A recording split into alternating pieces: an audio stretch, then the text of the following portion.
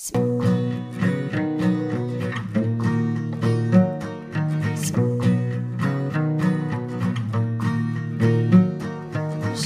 shining, shining like the same.